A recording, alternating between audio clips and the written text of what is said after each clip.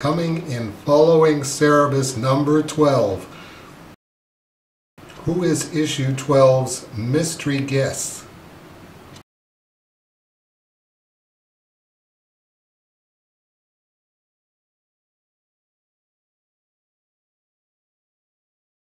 This was my half of the cover.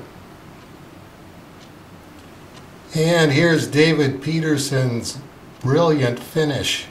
Following Cerebus number 12 is finally on its way to completion and will actually ship sometime in the next month.